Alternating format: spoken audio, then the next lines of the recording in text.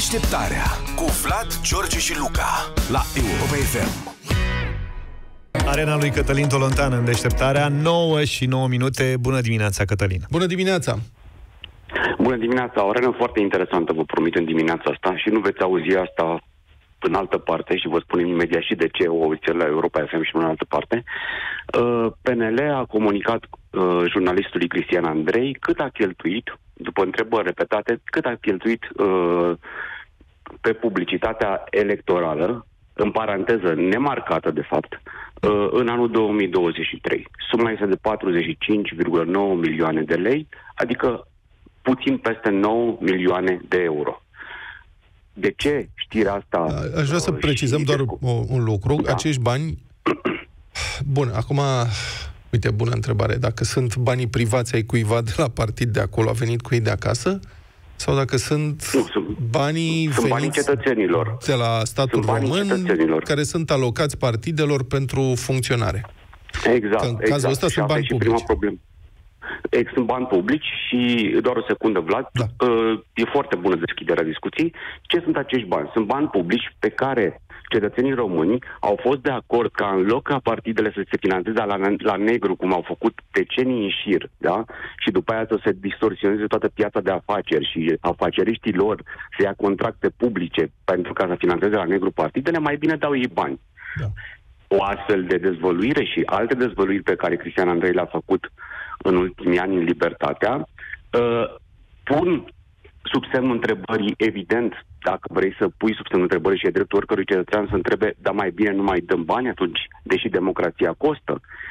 Revin o secundă și îți spun, acest lucru uh, nu l-ați văzut pe televiziuni, nu veți auzi cu mare probabilitate la alte radiouri, l-auziți la Europa FM și l-ați văzut descoperit pe Libertatea, pentru că un reporter cu sânge de reporter, Cristian Andrei, și o redacție au rezistat și au făcut dezvăluiri de acest tip.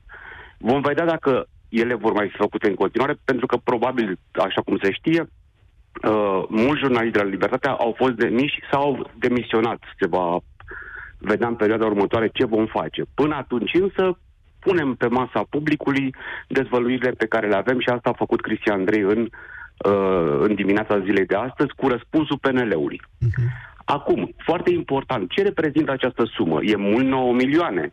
Din 97 și până astăzi, o agenție de publicitate face statistica publicității în România, face ceea ce se numește Media Facts Books, uh, uh, cifrele publicității din, uh, din România. Deci din 97 și până acum.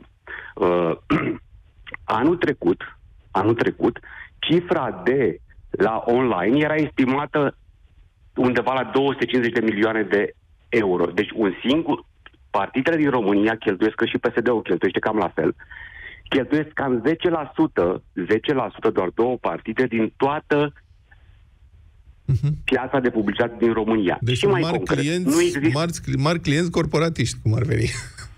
E, nu, cei mai mari clienți corporativi spun asta cu toată răspunderea. Informațiile pe care le avem din piață spun că niciun client din țara asta, da?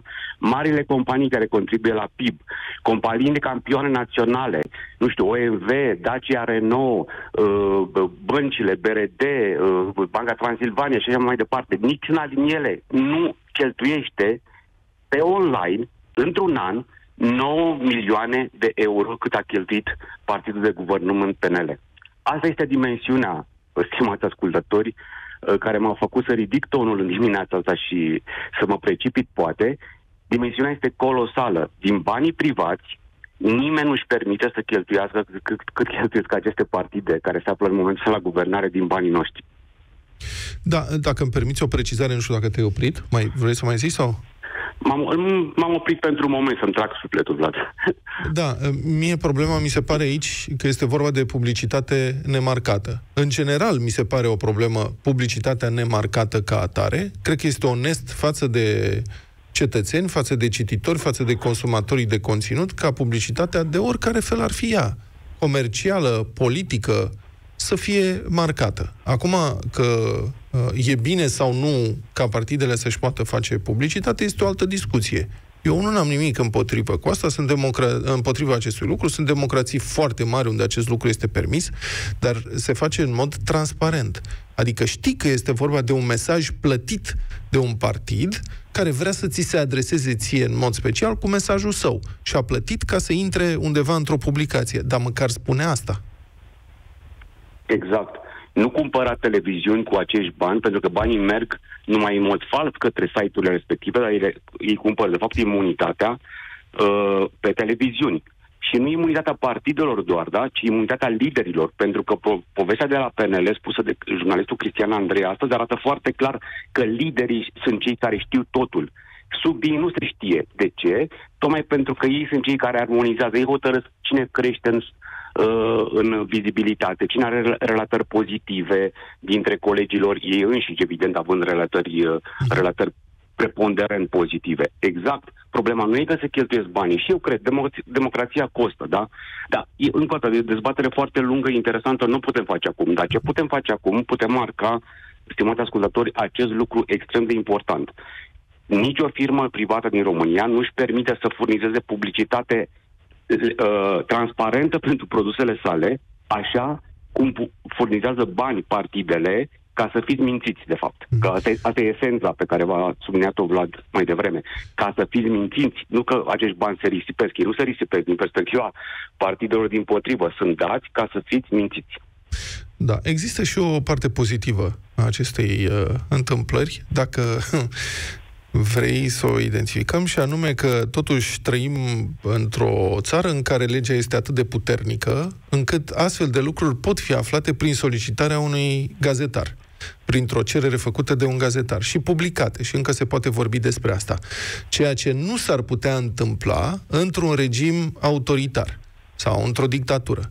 Deci democrația, așa cum e ea plină de uh, bube și bubițe, încă este mai bună decât alternativa cu o singură acoladă, trebuie să existe pentru asta presă liberă. Absolut. Este esențială. Nu e un lux al democrației. Așa este. Imperfectă, șchioapă de multe ori, întârziată în evoluția ei și a vieții noastre, așa cum noi imaginăm și pentru care uneori muncim și luptăm. Uh, România este o democrație. Asta e fără discuție, altfel n-am fi avut loc această discuție, fie ea, fie ea a ajuns aproape indezirabilă încă o dată. Nu puteți vedea, nu puteți vedea sau asculta această discuție în foarte multe locuri publice în România astăzi. Mulțumesc foarte mult, Cătălin Tolontan. Deșteptarea cu Vlad, George și Luca la Europa FM.